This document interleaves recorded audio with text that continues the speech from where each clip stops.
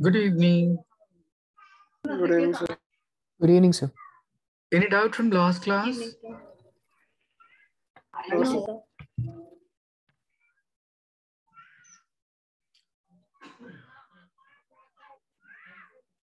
Okay, in last class, I defined you about kinetic theory of gas in which we have done pressure exerted and thermal kinetic energy.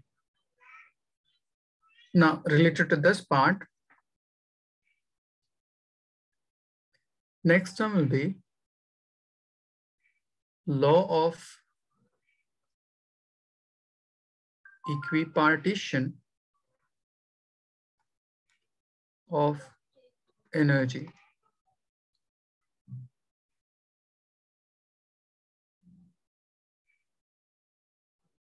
So first, what do you mean by equipartition? Equi means equal and partition means division. It means equal distribution of energy. So on the basis of this part, let me define you. In last class, we, we have just derived about thermal kinetic energy 3 by 2 kb into T, in which we have assumed that particle is monoatomic in nature, for which total thermal kinetic energy will be about this much. Raza, just tell me number of degree of freedom for monoatomic particle.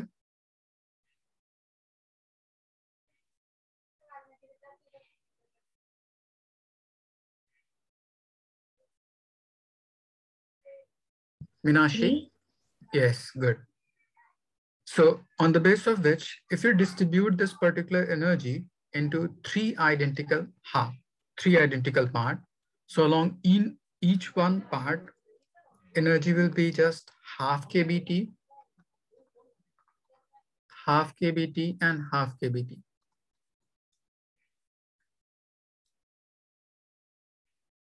As for monoatomic, num number of degree of freedom will be three. So it states the total energy of a particular gas get equally distributed along its all degree of freedom and at constant temperature, energy in any one degree of freedom will be always equals to half kBt and it will be always constant. Is it clear? Let me explain you again. Law of equipartition of energy states the total energy of particular gas, whether it would be monatomic, diatomic, triatomic, or any gas, must equally distributed along its all degree of freedom. Like for monoatomic, we have three degree of freedom. So this particular entire energy may get equally distributed along all degree of freedom equally. So at constant temperature, energy in any one degree of freedom will always equals to half kBt. And since temperature is constant, Boltzmann constant, Kb is also constant. So this entire energy will be always constant. Gautam, is it clear? Yes, sir. So what will be constant? Kb, Boltzmann constant, and T, temperature. Oh, okay. okay. So we can say the total energy of gas get equally distributed along its all degree of freedom and at constant temperature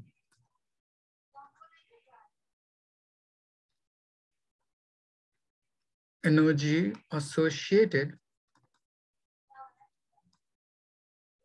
along any one degree of freedom will be half kBt and it will be constant. Nabila, is it clear? Yes, sir. Okay, just write it down.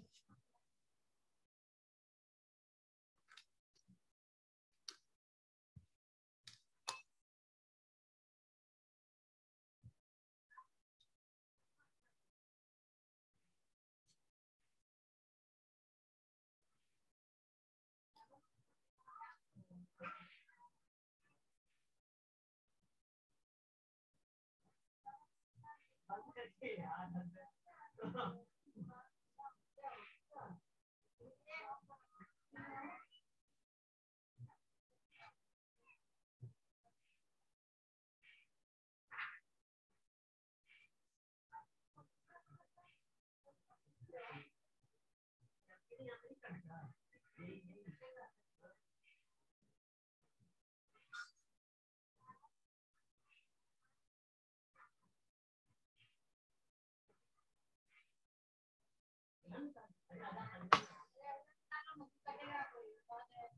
Gracias.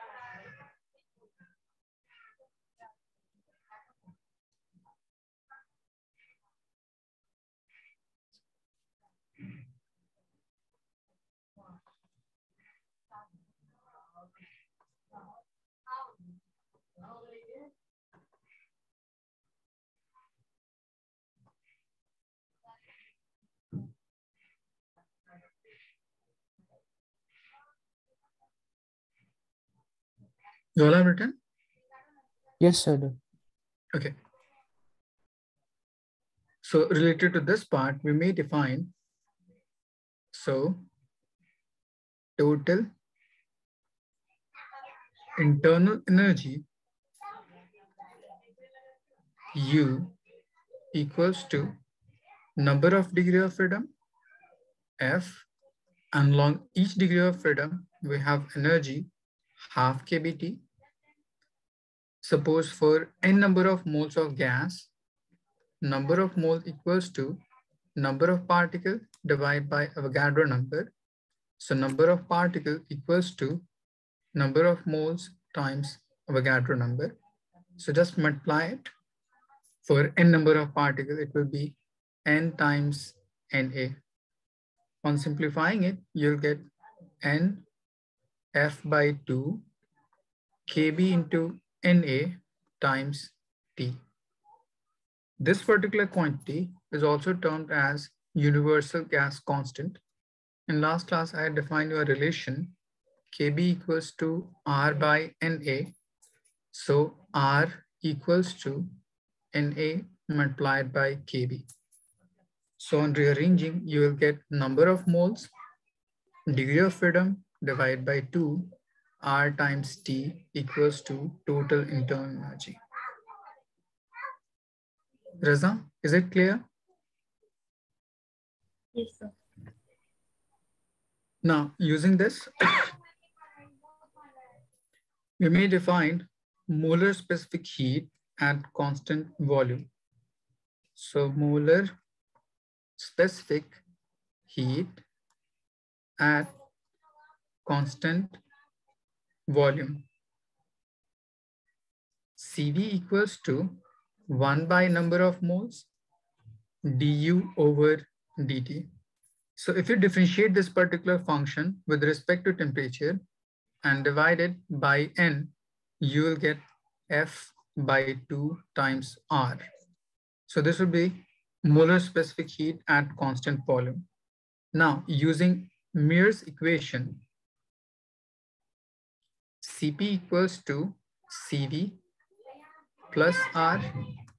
So on rearranging, you will get 1 plus F by 2 times R equals to Cp. And specific gas ratio equals to Cp by Cv. So on solving, you will get 1 plus 2 by F.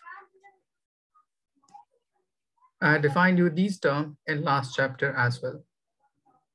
So this is how we can prove these different terms related to this concept of internal energy. Gautam, is it clear? Yes, yes, sir. One second. Okay, just write it down.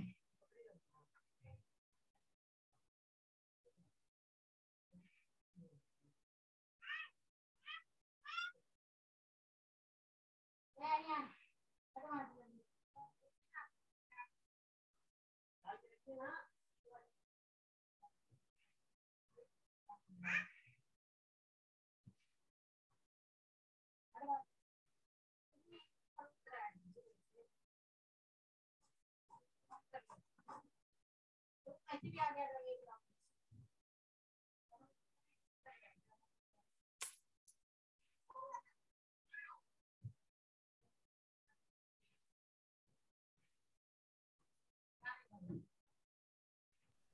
sir, is it Cp is equal to Cv plus R? Yeah. Okay.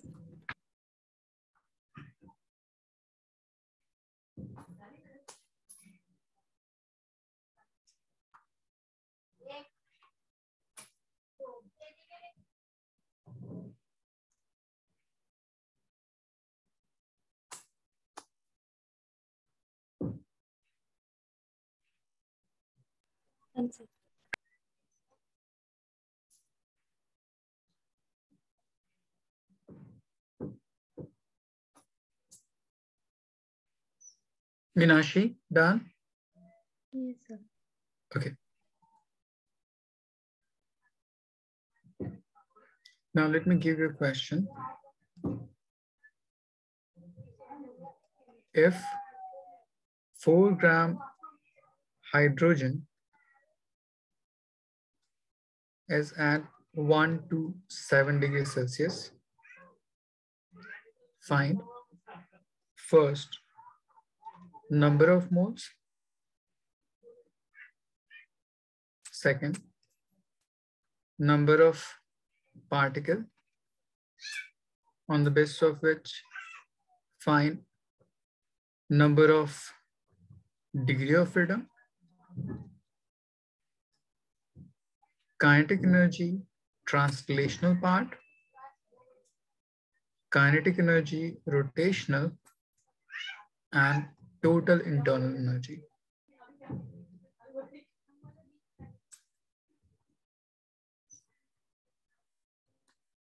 Try to solve using the above concept.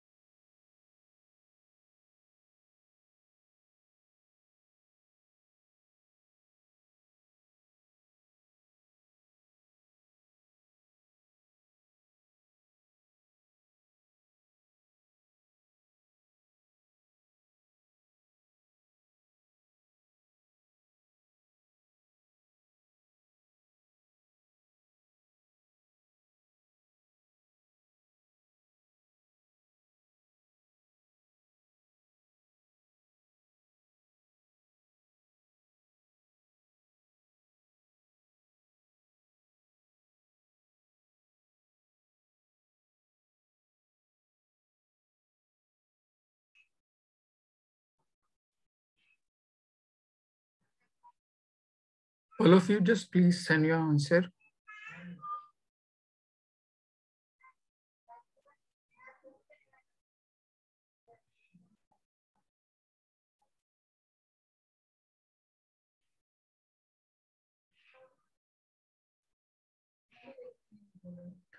For calculation of number of moles, you may use n equals to given mass by molar mass, number of particle over Avogadro number, or given volume by 22.4 liter. Sir, Yes, what is KET and KER? K is kinetic energy and T subscript defines its translational kinetic energy. Oh,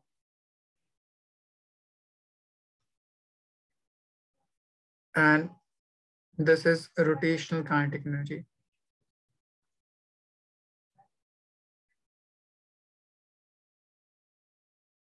Here, hydrogen will act as a molecule, so it always exists as H2 molecule.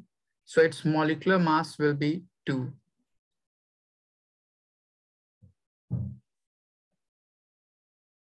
Nabila, just check your calculation.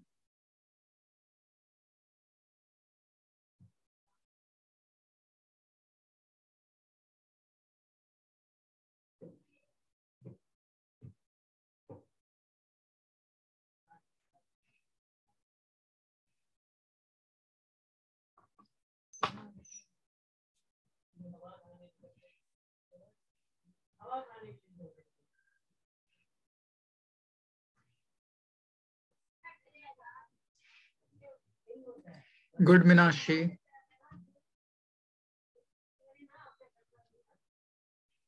Good, Nabila.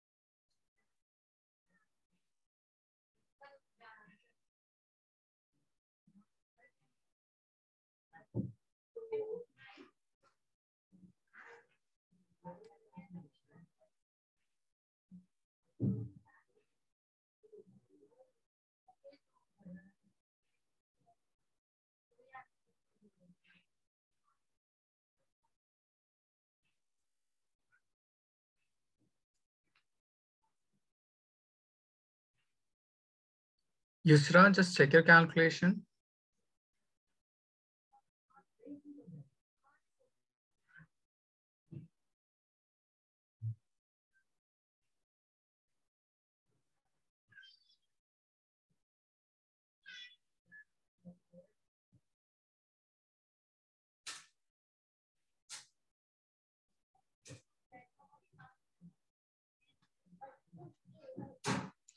Let me solve first number of moles.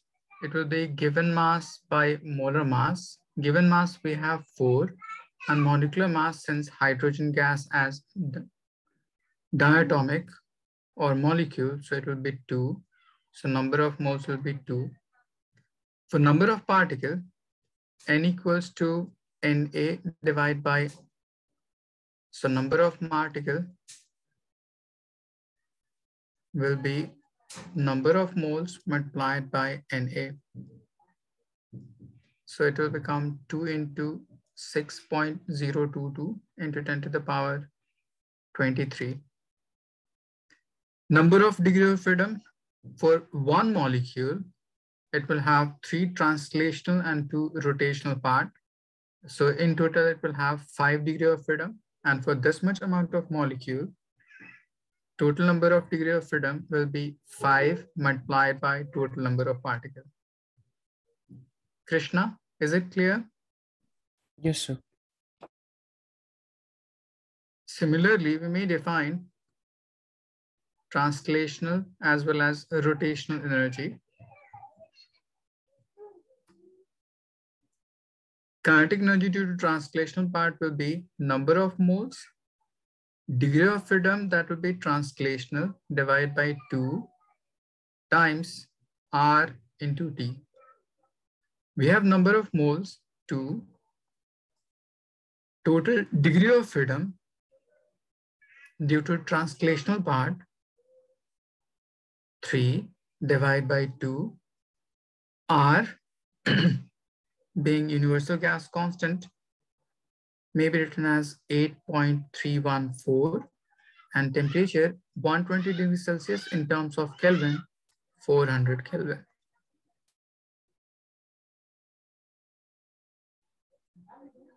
Similarly, rotational kinetic energy will be number of moles. Sir, Yes. why did we take uh, F is equal to F into, uh, I mean, F is equal to 5 into M? Yeah. That is total number of degree of freedom. Yeah, that's 5 only, right?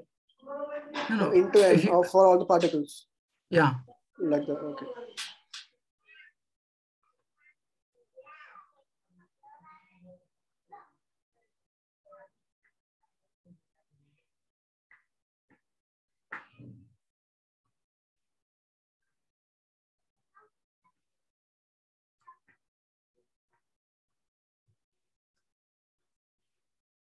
So number of degree of freedom due to rotational part divided by 2 are 8.314 and temperature 400 Kelvin. Now, if you add these two energy, you'll get the total internal energy for this part, that is U.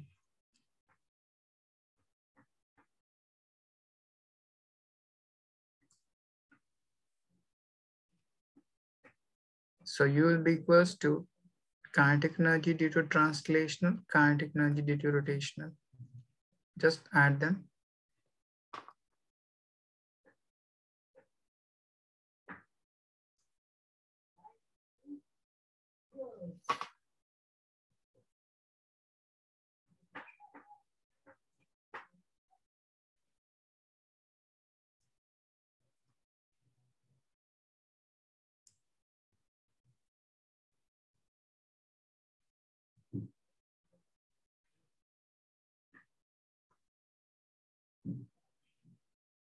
So for 3, uh, U, we can use 3 by 2 kBT, right? For U. Yeah, you may use, but for that part, you have to just multiply it by number of particles. So if you simplify it, you'll get n into f by 2 into RT.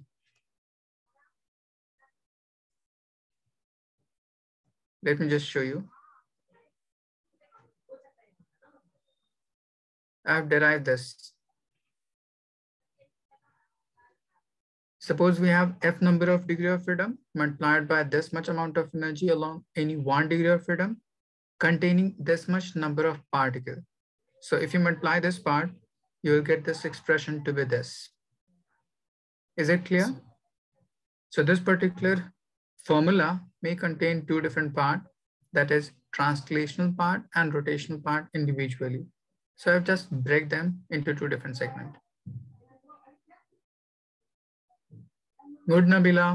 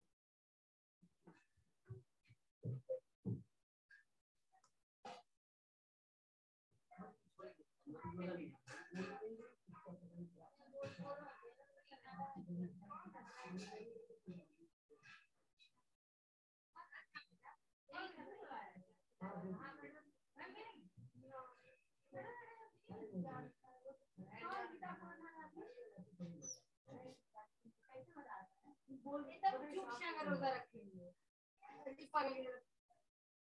अजान हो रही थी क्या वो बोले जा रही बोले क्या किसी के सामने ऐसे करने का उनसे दिया है कौन आपने बुलाया जीता है उससे पहले हम जीते हैं उससे पहले हम जीते हैं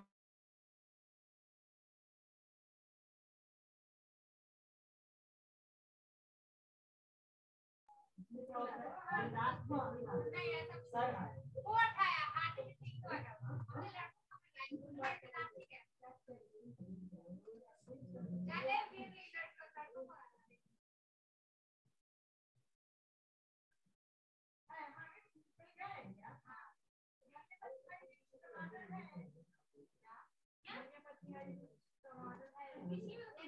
If you solve this part, you'll get 6.022 into 10 to the power 24 molecule or 24 degree of freedom.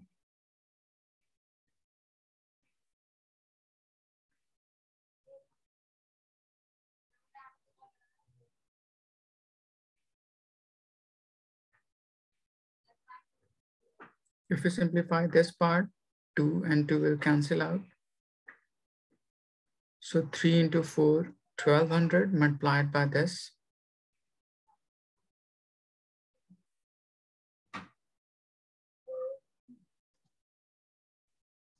Eight point three one four.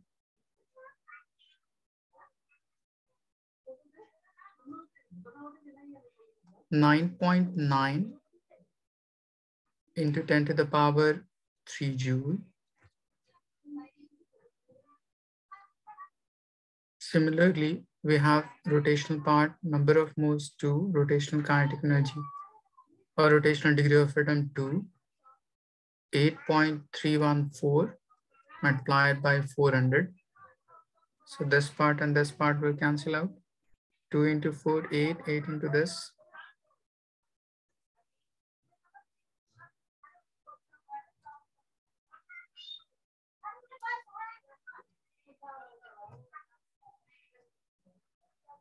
it will be 6 point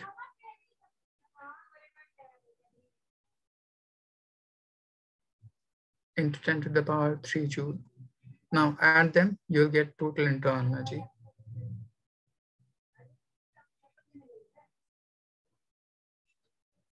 Good, Krishna.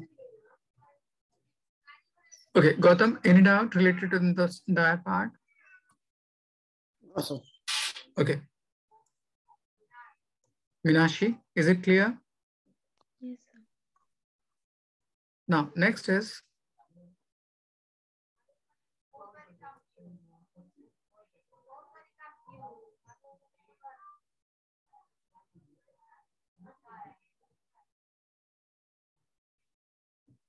velocity of gas. Mainly have three different velocity for particular gas. Let me define you. Suppose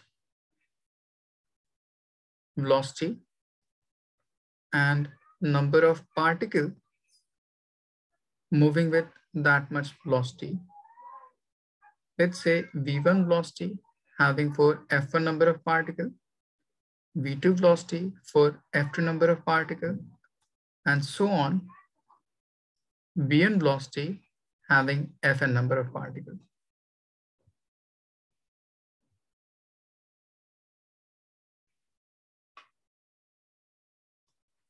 So first we define average velocity.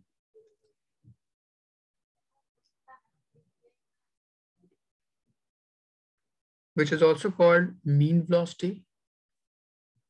So V average is sum of all observation, that is Fi Vi, divide by number of observation, Fi. Similar to what we did in class 10 for statics, statistic, the last chapter of mathematics, how to calculate mean related to tabular form. That was Fi xi divided by summation Fi. Krishna, is it clear? Yes, sir. But for whole volume, like in terms of pressure, temperature, or some other quantity, it will be root under 8 pi pi r into t divided by m, which will be equals to 8 by pi kb into t divided by small m. And it will be equals to 8 by pi p by rho. Capital M is molecular mass, small m is given mass, Kb is Boltzmann constant, R is universal gas constant, T is temperature, P is pressure, and rho is density. So similarly, next is most probable speed.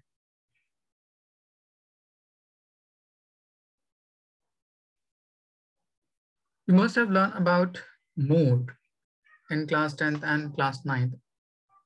Do you know? What do you mean by mode? Gautam? Yes, uh, mod also is the most repeated value. Good. So similarly, in this part, in case of velocity of gas, that is most probable speed. So you will say the velocity with which maximum number of particles moving with is termed as most probable speed. So VMP velocity with which maximum particle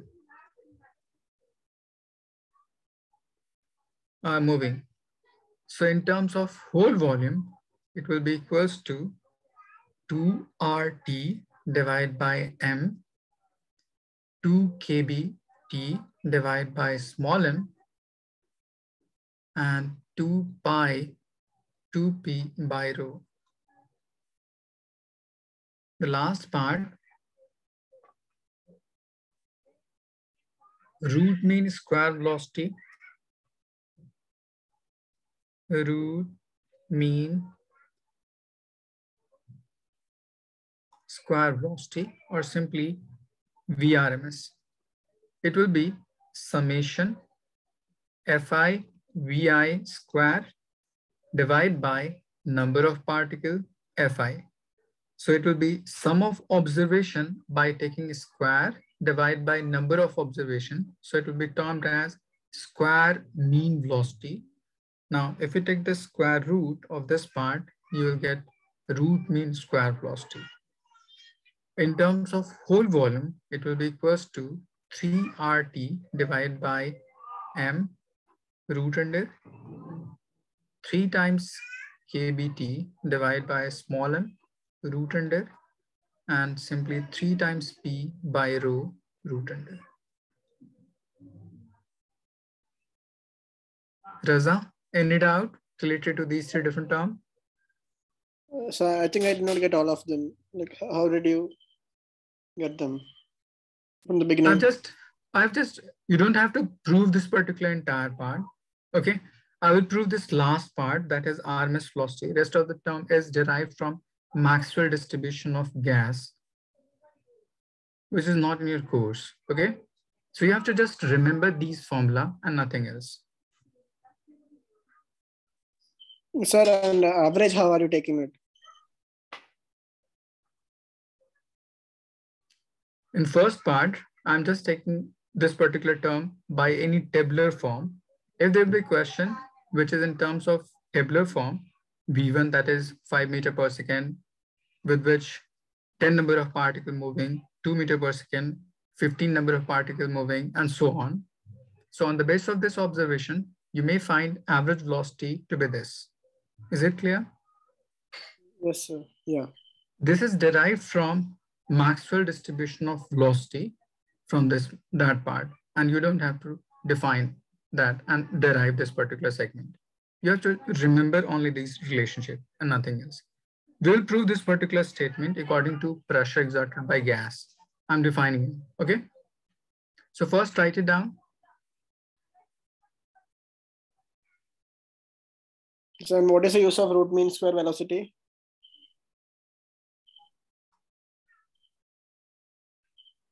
Suppose average or mean is taken like this. It means sum of observation divided by number of observation. Similarly, sum of observation by taking square, so it will be termed as square mean. And if you take the square root of it, so it will be termed as root mean square velocity. Is it clear? Yes, sir. But where is it used? Like, why is it preferred over average velocity sometimes? I'm defining you Okay. this particular part, okay?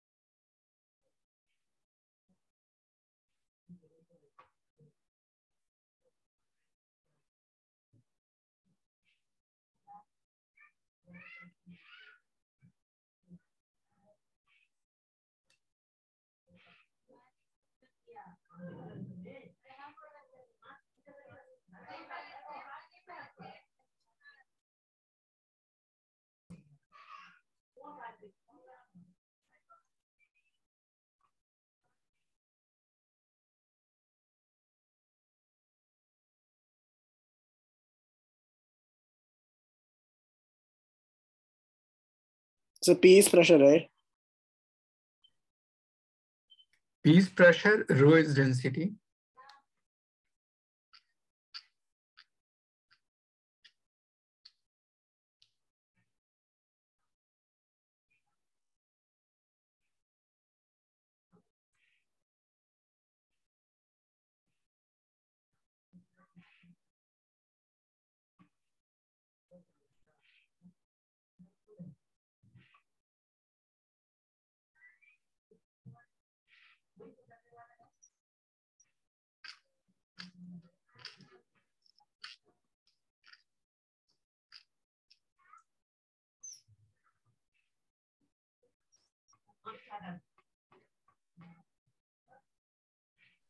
Done, sir.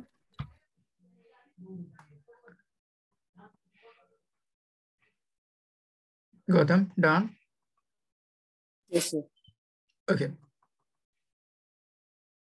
According to the last segment, what we have pr- proved for pressure as pressure equals to 1 by 3 rho v bar square. In this segment, I told you v bar square is square mean velocity. So on rearranging, you will get v square equals to 3 times p by rho. Now take square root on both sides. So this and this. Since this particular term is square mean velocity, so on taking square root, it will be termed as root mean square velocity. Is it clear? And which is equals to 3p by rho, which is nothing but this expression, the last part. Gautam, is it clear? Yes, sir. So you will be able to prove only this statement. Now, why it is preferred?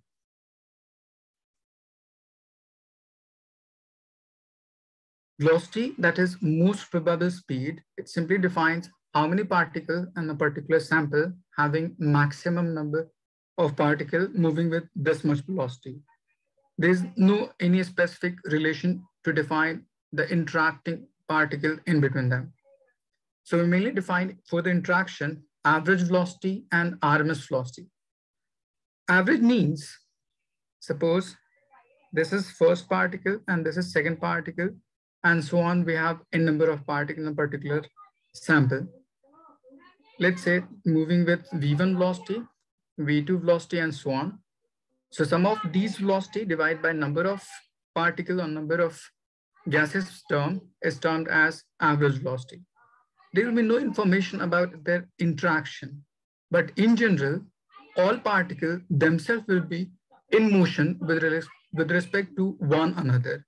So instead of taking average velocity, it will be better to take relative velocity and then average them. Is it clear? Yes, sir. Sir, can So that- that again? Okay. Since all particles must be always in random motion, and for that random motion, they will be all be interacted with one another. Also, there will be always colliding or collision in between them altogether, always.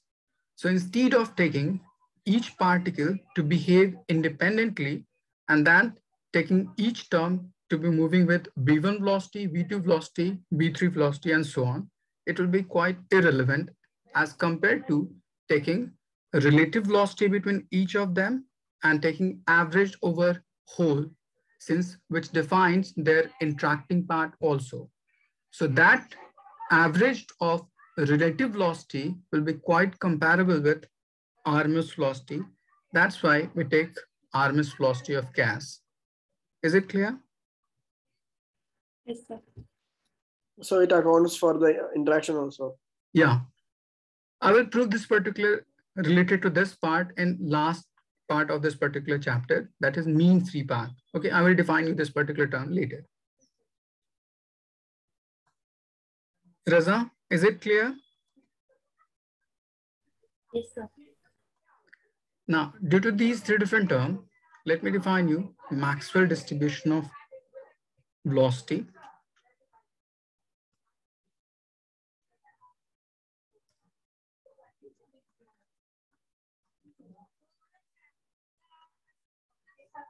It simply defines how many particles are moving with RMS velocity, most probable speed, average velocity. And on the basis of which we may define how it depend upon molecular mass, temperature, and other factors. Suppose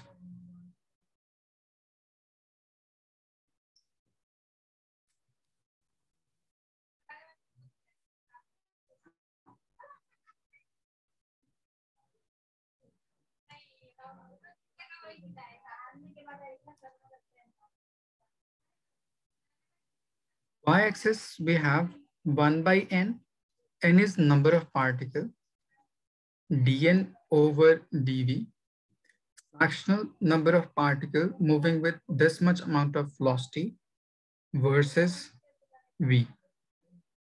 So graph related to this part will be like this. So what is on the y-axis again? Number of particles, that is 1 by n, which defines fractional part of particle moving with a given velocity, we have to define with respect to the whole term. Is it clear? Suppose in a particular sample, we have 100 number of particles, okay? Yes, in which 40 number of particle moving with 10 meter per second, suppose. Similarly, 30 particle moving with 20 meter per second, and so on. Okay? So number of particles moving with a, a particular specific value will define you the fractional part of dn over dv. And if it divided to the total part, so it will define you the fractional part of velocity in that particular sample. Is it clear? Yes, sir. So according to this part, the maximum number of particles will be moving with most probable speed. So this particular term will define you VMP.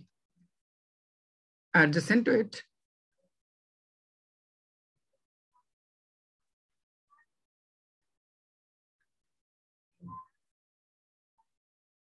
defines you average velocity and then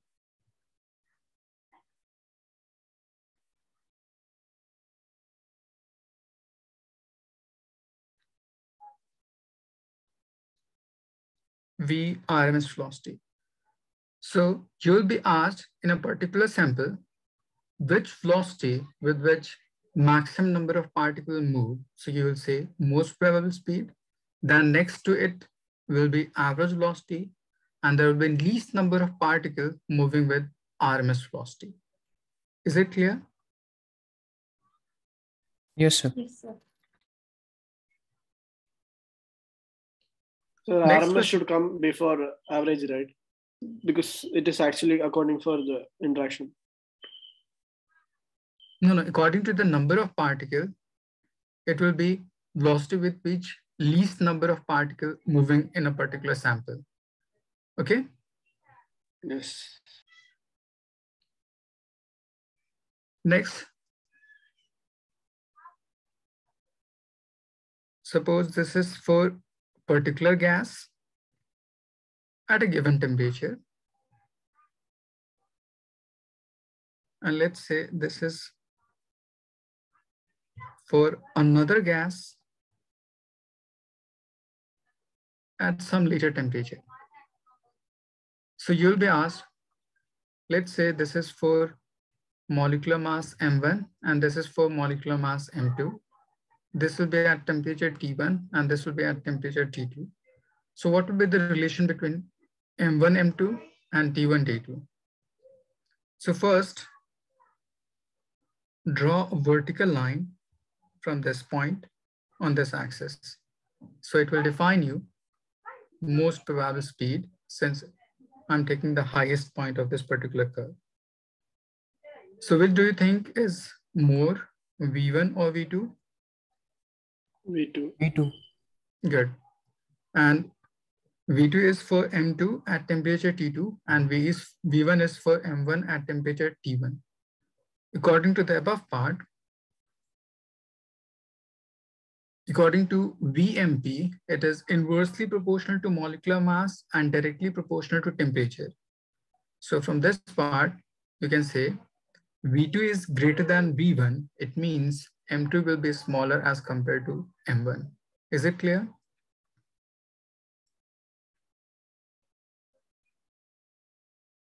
Gautam, is it clear? Yes, sir. Similarly, what you can say about the temperature part, since velocity is directly proportional to square root of temperature, so T2 will be greater as compared to T1. Is it clear? So Sir, the can X you and Y repeat? axis are same, right? Yes. X and Y axis markings are same, right? The units. Yes, Krishna. So can you repeat again uh, for T2 greater than T1? Since in this part, VMP is inversely proportional to molecular weight, that is M. So greater the value of capital M, it will have lesser VMP. And it is directly proportional to T. So greater the temperature, it will have more hmm. velocity. So in this part, which one is greater? So you'll say V2. So mass will be smaller for this part. It means M2 will be smaller as compared to M1 but temperature will be larger, so T2 will be greater than T1. Krishna, is it Yes. clear? Yes, it's clear. Now, there will be next question related to this part. You will be asked to arrange these velocity on the basis of their numerical value in ascending order. So just see this different term and try to find their numerical value and how they will relate in ascending order. First, tell me which is maximum part or which velocity is maximum? Average, RMS, or most probable?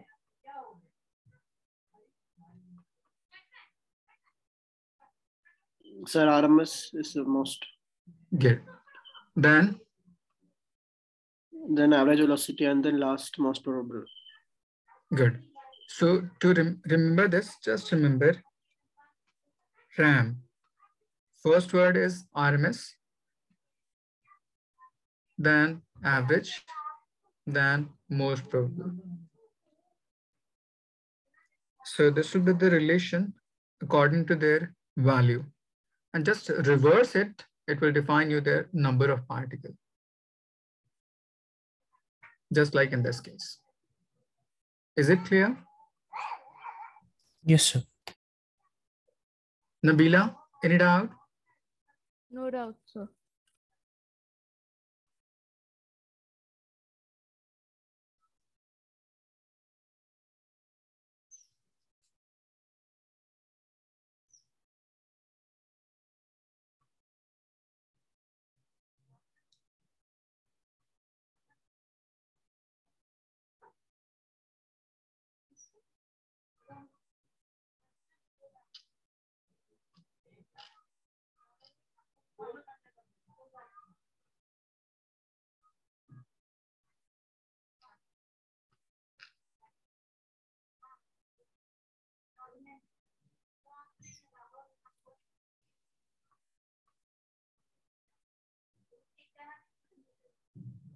Done,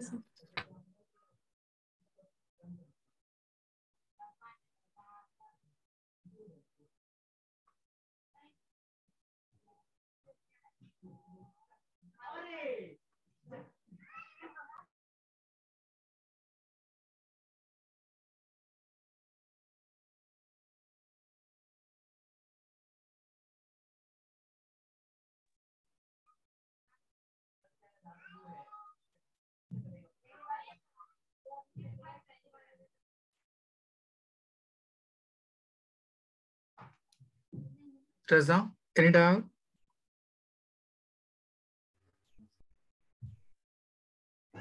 You all have written? Yes, sir. Okay.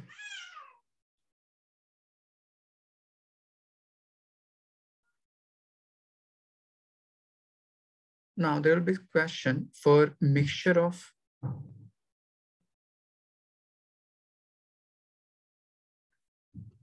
non-reacting gas.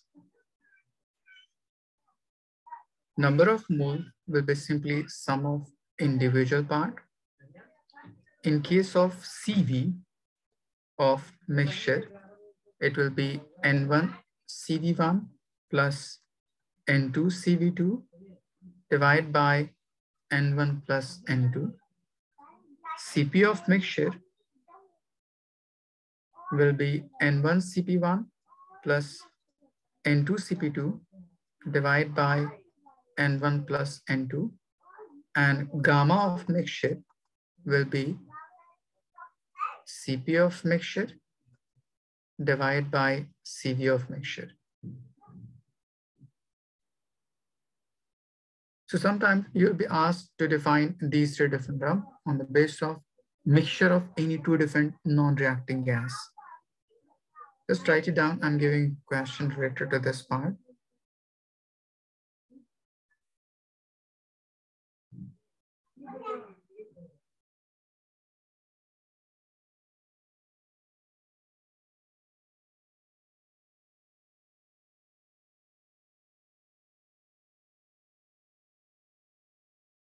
Sir, so what is the difference between big M and small m? Small m is given mass of that particular molecule and capital M is molecular weight. Okay.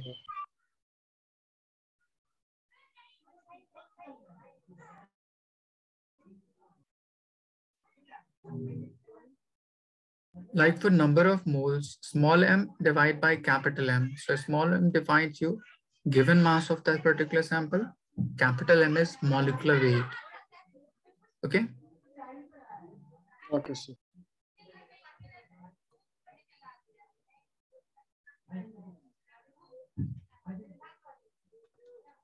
Just try to find if one mole of oxygen mixed with two mole of helium find gamma of mixture.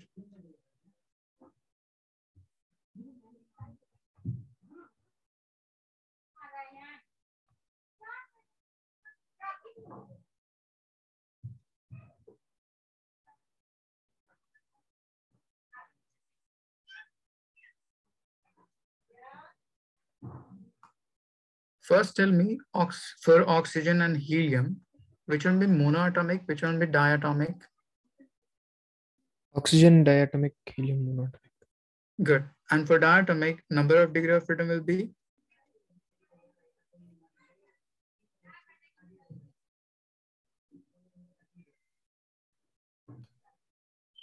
Helium 3, right? And oxygen 5. good.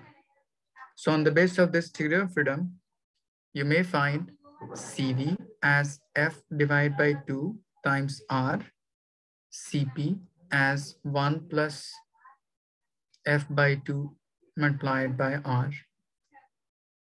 Number of moles of each, N1 is 1 and N2 is 2 is given.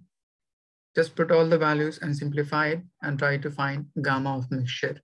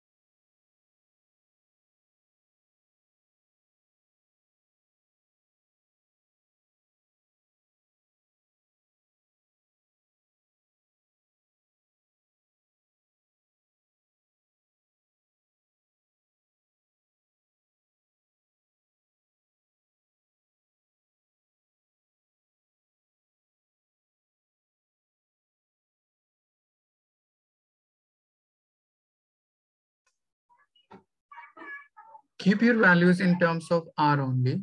It will get cancelled out.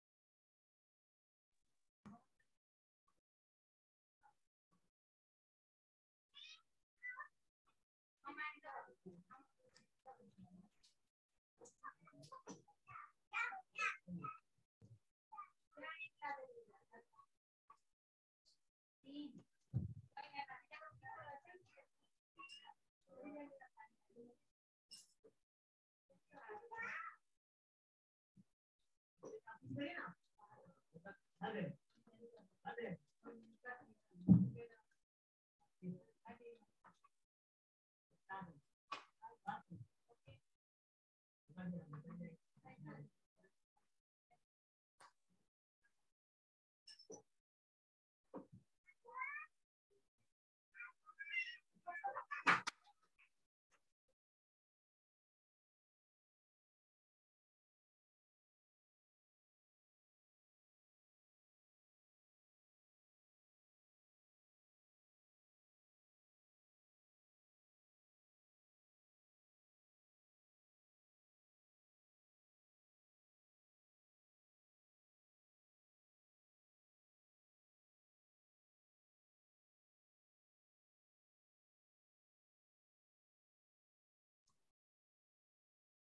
Good, Gautam.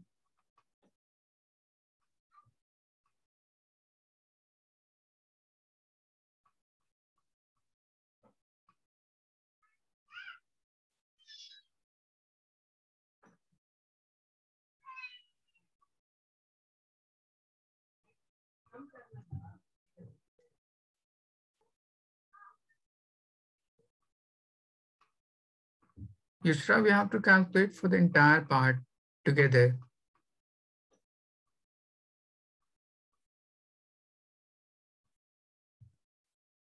So gamma of mixture will be Cp of mixture divided by Cv of mixture. So N1 plus N2 will get cancelled out. So you're left with N1 CP1 plus CP2 divided by N1 CV1 plus N2 CV2.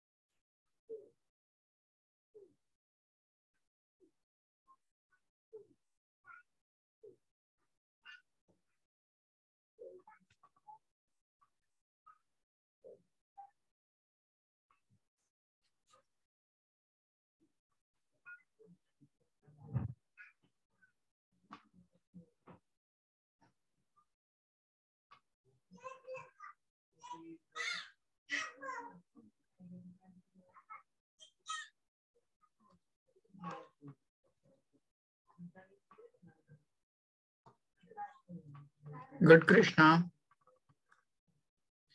And when we have 1, CP1 7 by 2 R, N2 is 2, CP2 is 5 by 2 times R, divide by N1, CV1 5 by 2 R, N2 2, CP2 5 by 2 times R. Take R by 2 as common from both numerator. So you're left with 7 plus 5 into 10. Divide by R by 2 as common. So you're left 5 plus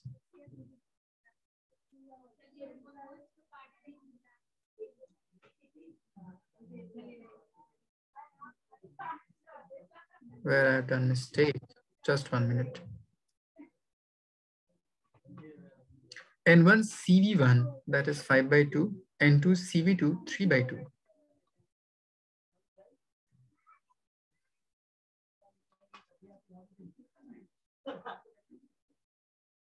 So R by 2, R by 2 cancel out. 10 plus 7, 17, 5 plus 6, 11. So it will be 17 by 11. Nabila, is it clear? Yes, sir.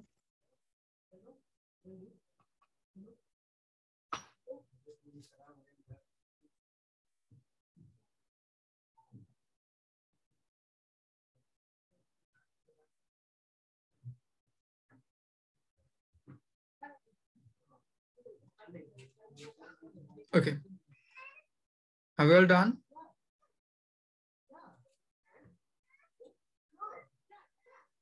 Yes. sir. The last part of this chapter is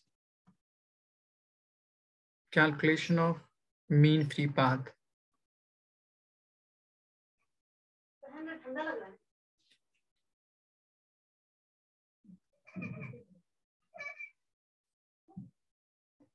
Suppose you have any gaseous particle at this point, moves along this path to collide with this particle and get deflected in some new direction, let's say along this.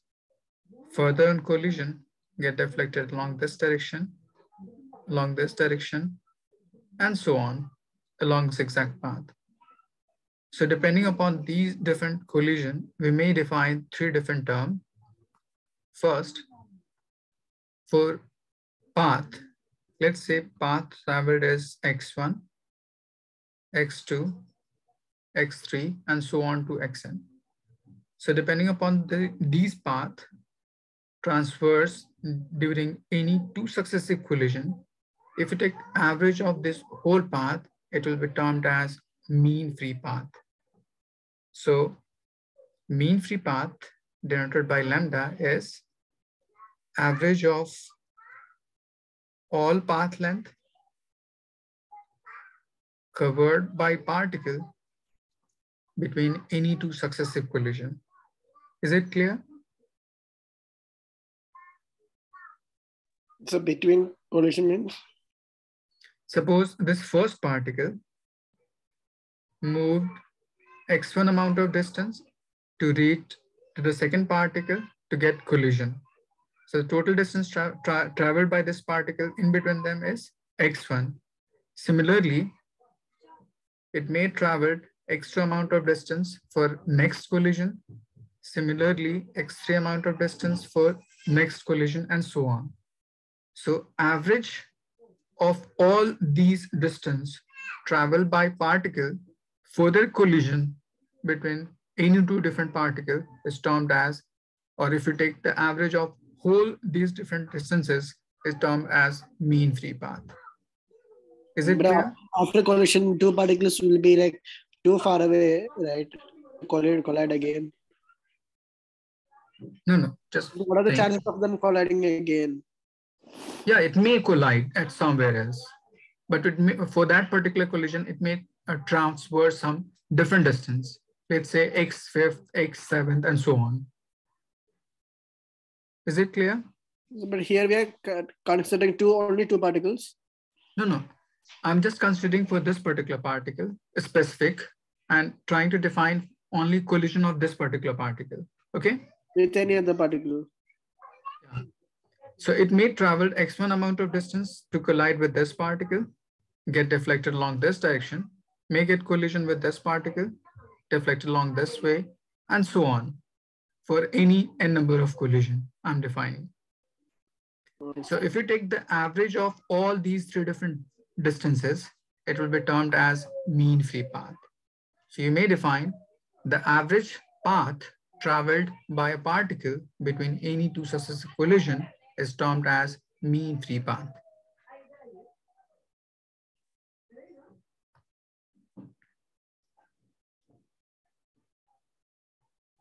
The average distance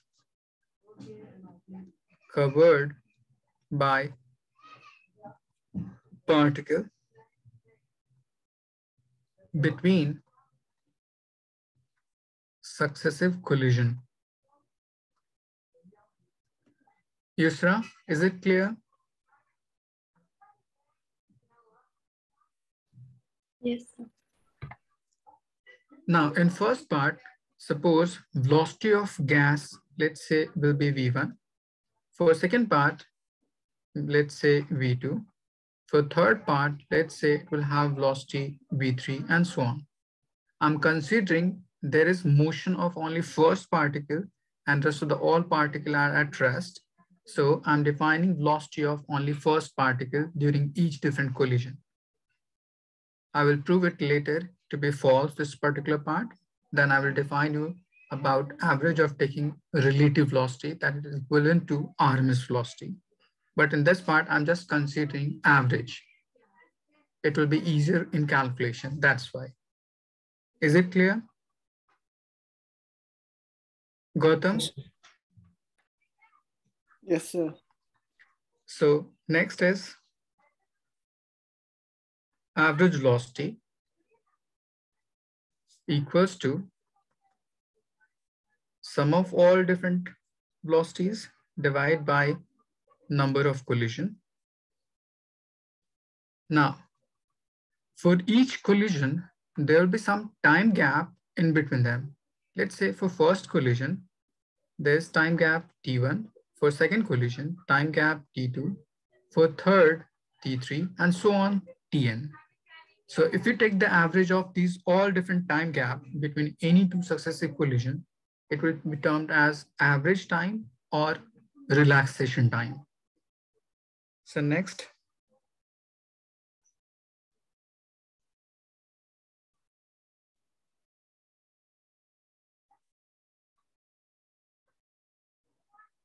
Denoted by T average or simply tau, which is equals to T1, T2, so on to Tn divided by number of collision n. So it may be defined as the average time gap between two successive collision. Nabila, is it clear, these three different terms? Yes, sir. Okay. Just write it down. So what is that? Um, and Tau, T or tau? Okay. the same representation of torque. Okay, sir.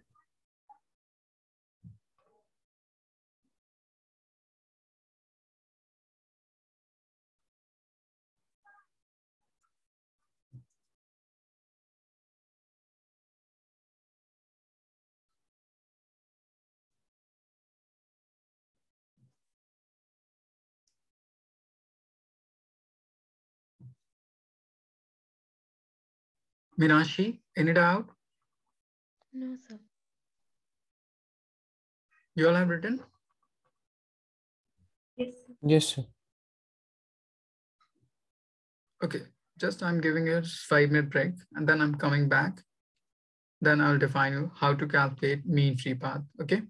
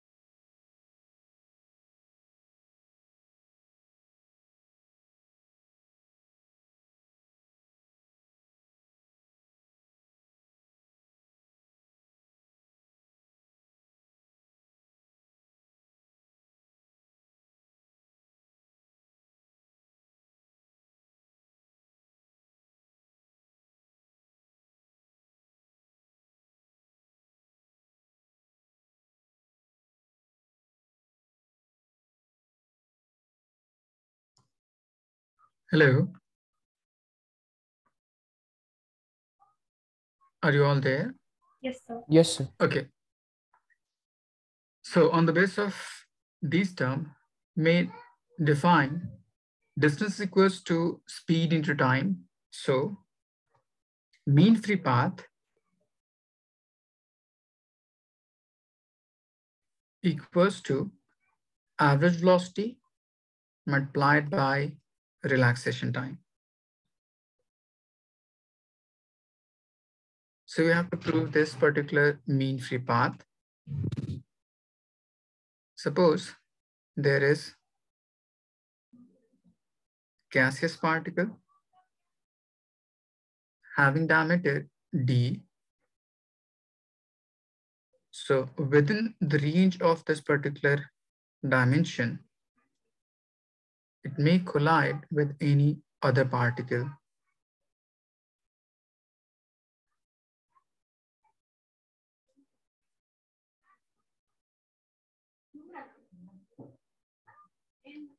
Suppose there is another gaseous particle at this point. Let's say there is another particle at this point.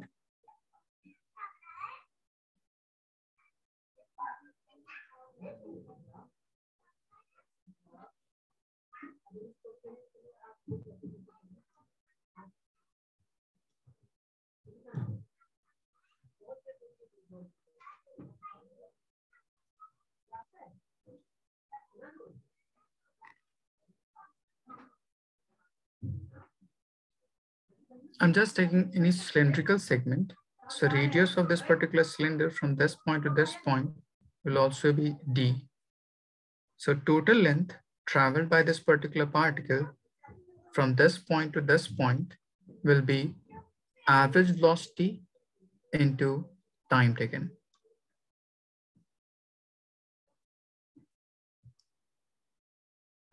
So what is a red D? D is diameter of this particular gaseous particle. Given the red D is for the the particle that is down. Just one minute. This is diameter of gaseous particle. So within the range of d, it may collide with any other particle. So I've just taken the center of these particle and center of this particular particle. So total separation from this point to this point will be 2d. That's why radius of the cylindrical segment will be also d. Is it clear? Oh, yes, sir. So consider gaseous particle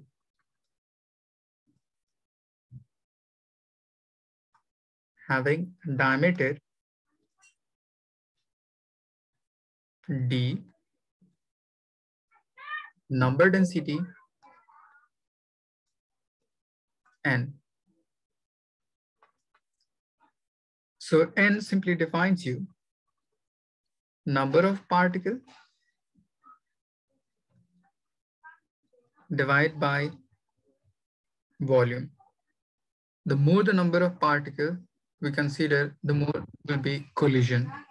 So total number of particle will equals to roughly number of collision. So is, we can say number of colliding particle or simply number of collision. So it will be also equals to number of collision divided by volume. So number of collision will equals to number density into volume and volume of this particular cylindrical segment will be pi r square times length. That will be V average into time taken. Is it clear? This is area of base multiplied by height.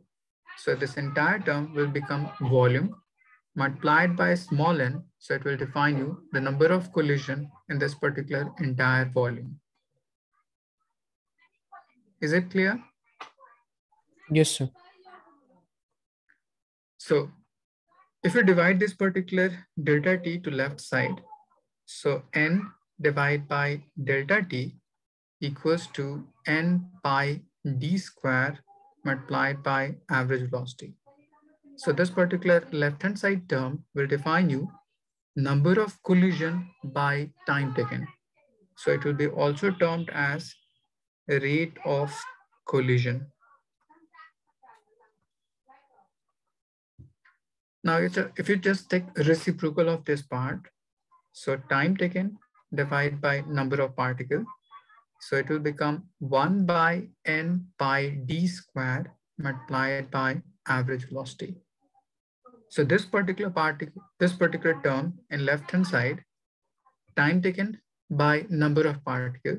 So it will define the average time gap between any two successive collision, which will be also called as tau. Gautam, is it clear?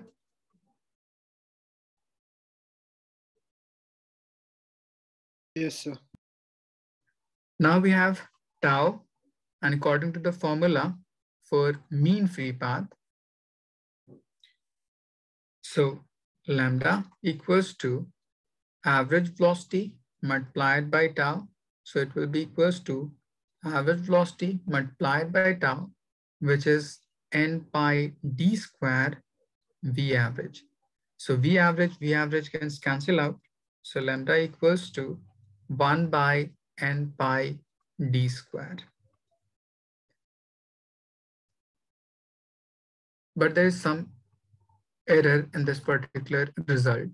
I've just considered each rest of the particle is at rest and only one particle is moving, but will be not possible. So instead of taking average of all different velocities, will it will be better to take average of their relative velocity. So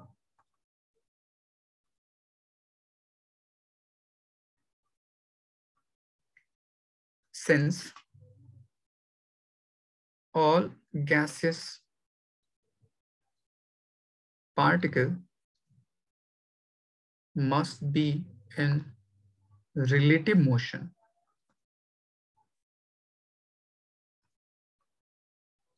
So it will be better to take average of relative velocity. Hence, this mean free path in that segment will become 1 by root 2 times n pi d square.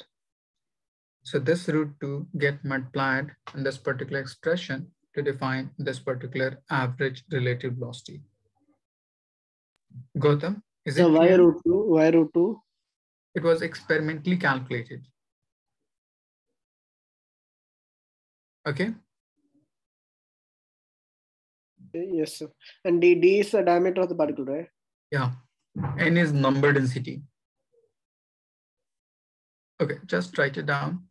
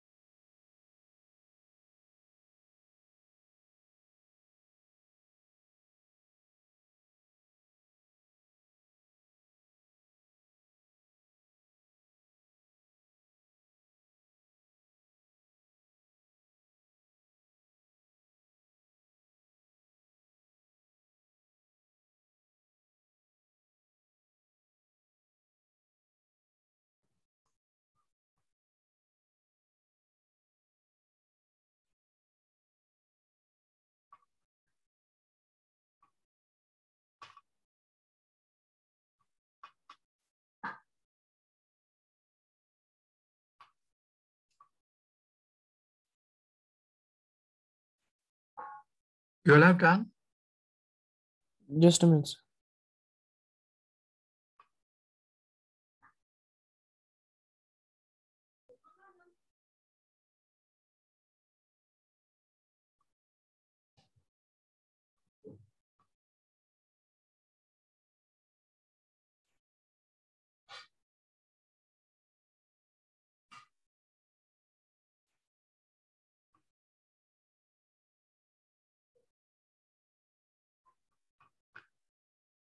Sir. Done, sir.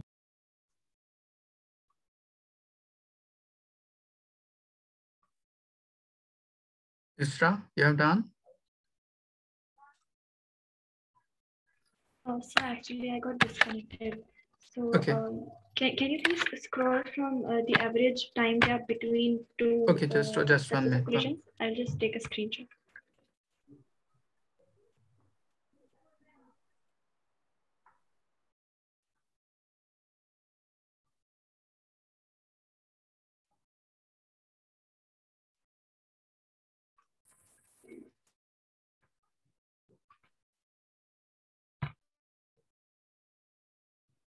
Done?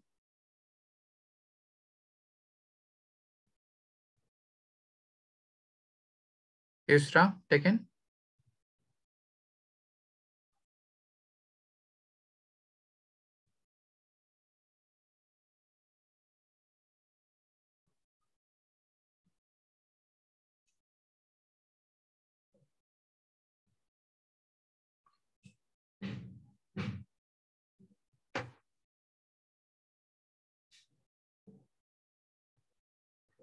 Isra, you have taken?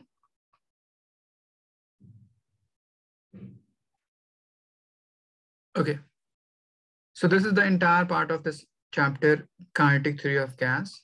So for your school examination, just remember, they will ask you about pressure exerted by gas or this part, mean free path to derive.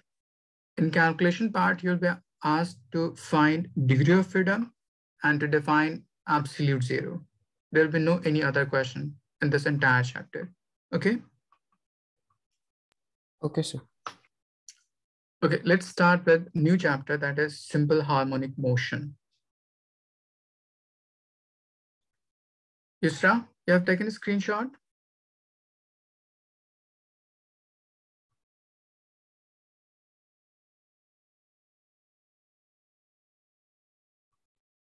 Yusra, Yes, sir. you have taken a screenshot? No, sir, I couldn't. Okay, just one minute.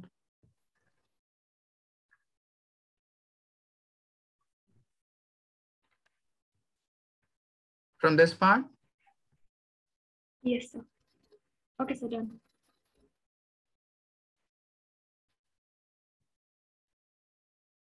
Thank you, sir. okay.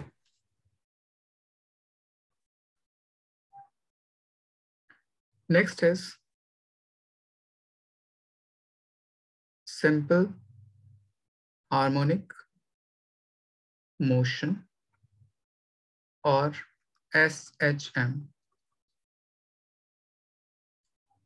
So to define this particular part, first, what do you mean by periodic motion?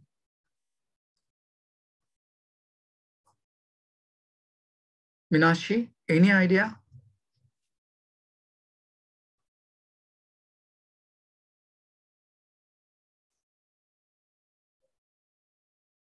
Krishna?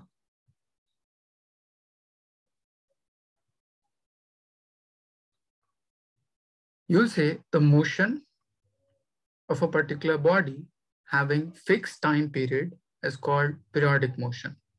Just like motion of a particular planet around sun, motion of heavenly body or satellite around any planet, motion of electron, and so on. So, motion of a body having fixed time period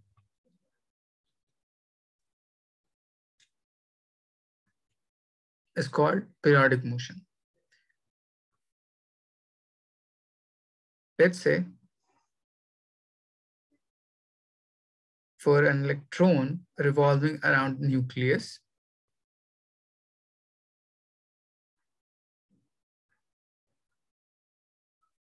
It starts from this point and on complete revolving around nucleus may get reached to this particular initial position. But in case of simple pendulum, let's say string attached with any bob and oscillating from this point towards this and further back to its initial position. Both are periodic, but there is some speciality in motion of this simple pendulum.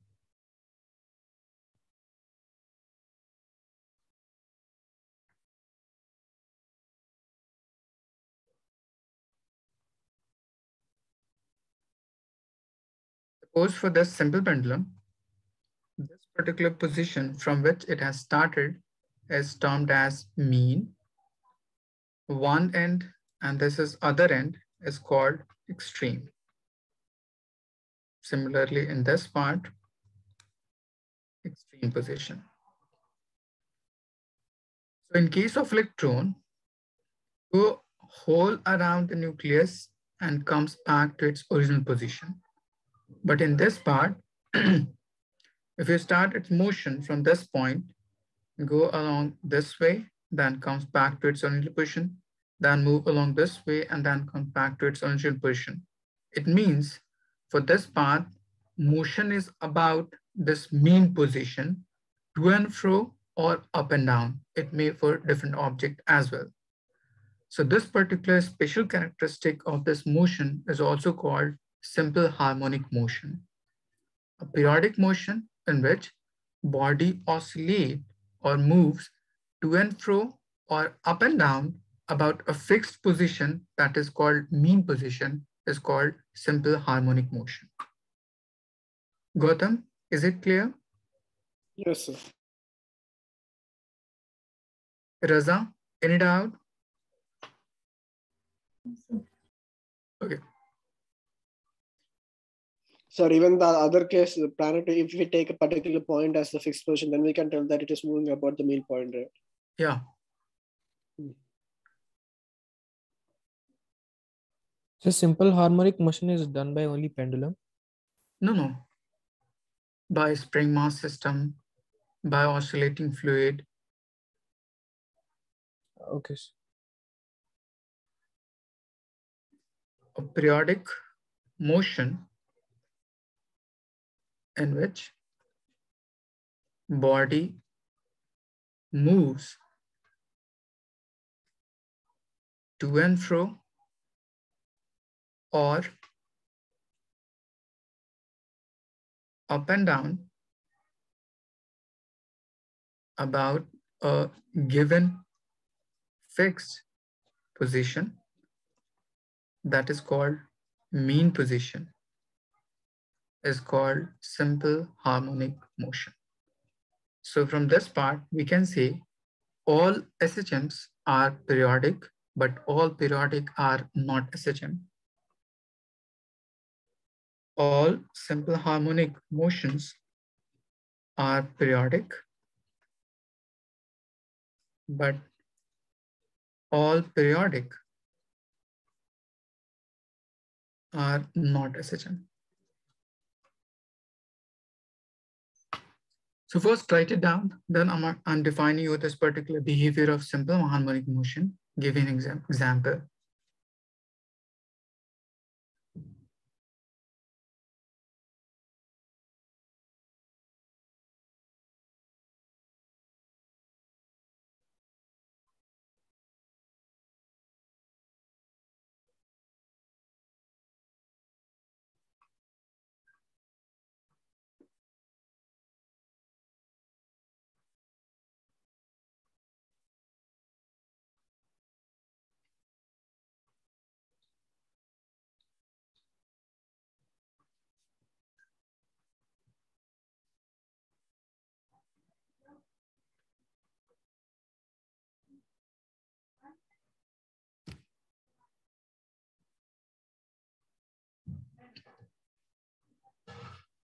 You all have done- done?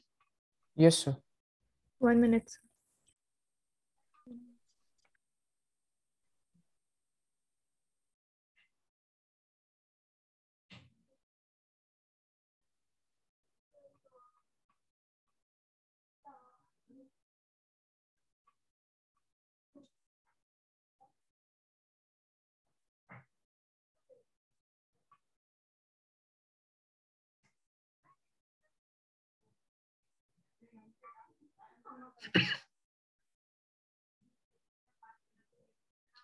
Done, sir.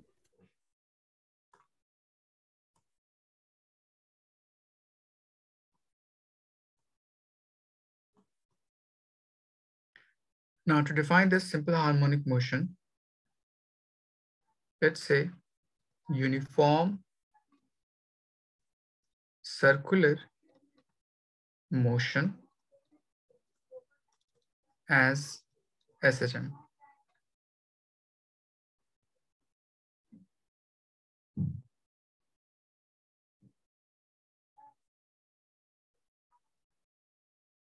Suppose we have any circular path, this.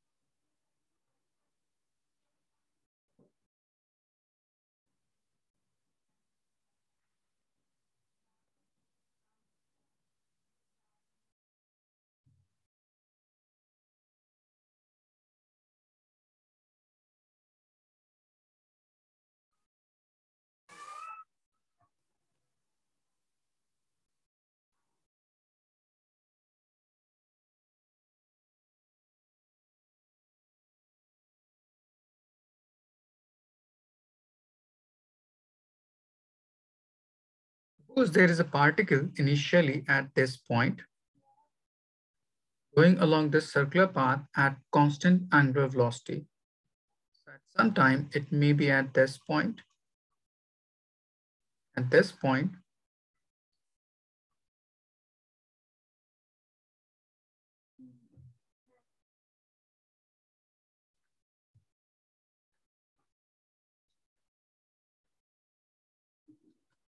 like this. Now for each position, if you draw its projection, projection means shadow along any diametrical axis. Let's say I'm defining along x-axis. So if you draw a vertical line from this point, so it will be at this, from this point, it will be at this, and similarly at this point. It means starting from this, particle is going along this way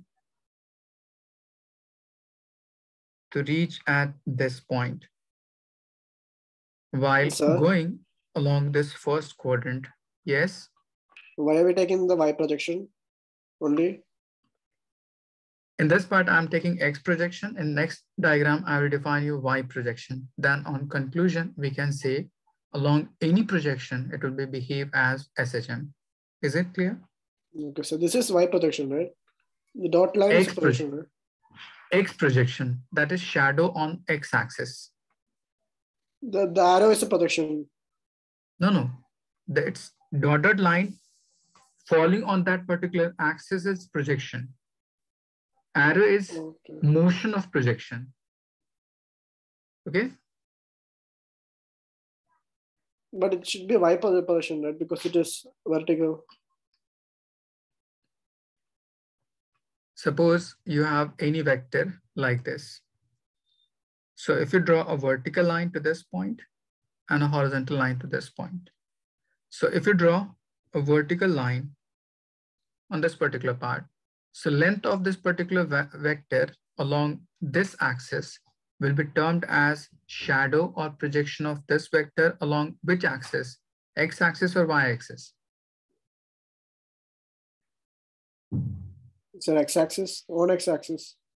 Yeah, so it will be termed as projection along x-axis. So if you draw a vertical line falling directly on x-axis, it will define your projection along x-axis.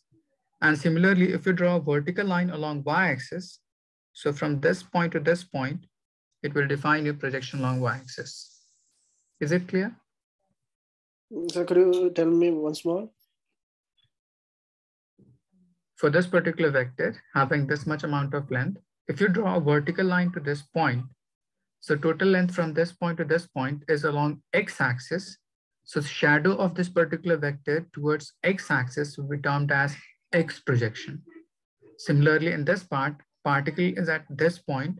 So if you draw a vertical line to this point, so total length from this point to this point or from this point to this point will define you its projection along this horizontal axis, not along y-axis.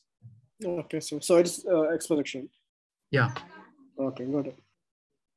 Similarly, if you draw a vertical line from this point, it may fall at this. It means particle is going along this way and further to reach at this point while going along this path to reach at this point. Similarly, for third quadrant, if you draw a vertical line, it may fall at this point. For this point, this. For this point, this. So it may behave to move along this way and then to reach at its initial position.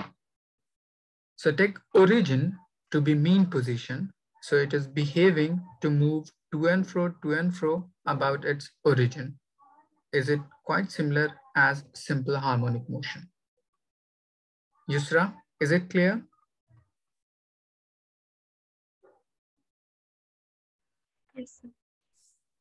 Similarly, if you draw along y-axis,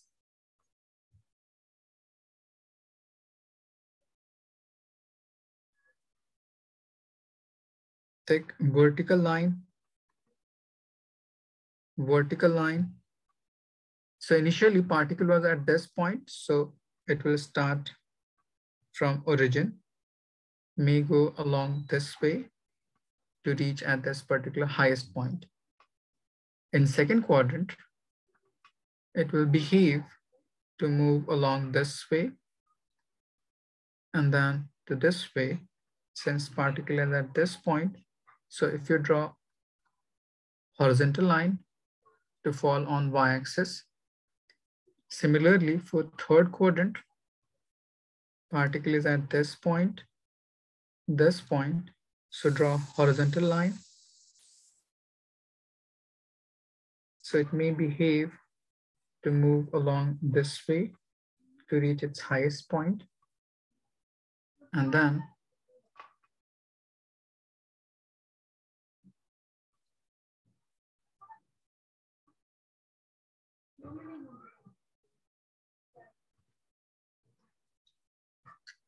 So from this part, we can say the motion of projection along y-axis during uniform motion of a particle about circular path is termed as simple harmonic motion.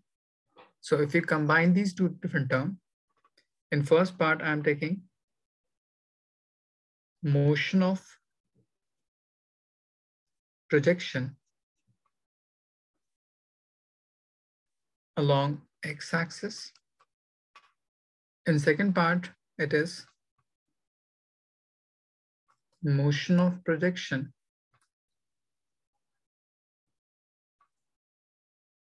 along y-axis. Nabila, is it clear?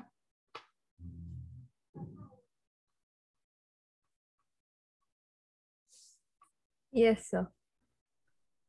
So we can conclude from this entire part that during uniform circular motion, the motion of projection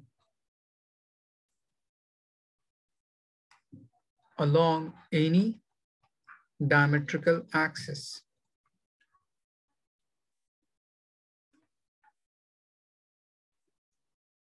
will be simple harmonic motion.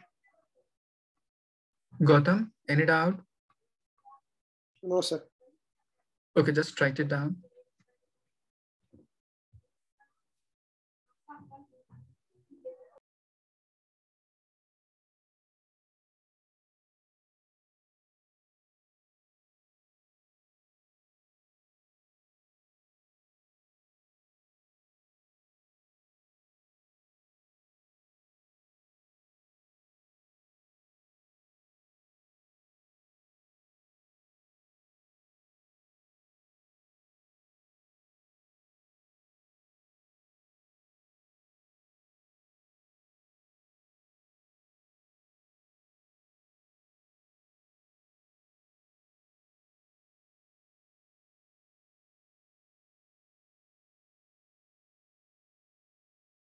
So this is going to be the last topic uh, concept for today.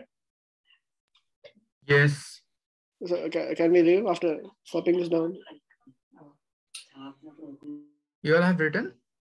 Yes, sir. Okay, that's it. second, sir. Okay. Gautam, you may leave. Thank you, sir.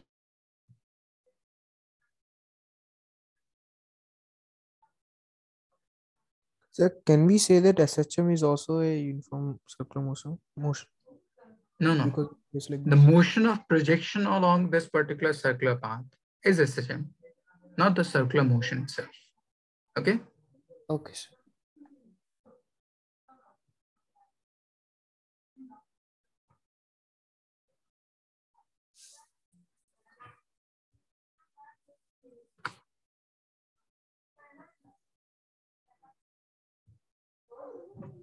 Uh, sir, can you please explain the sentence?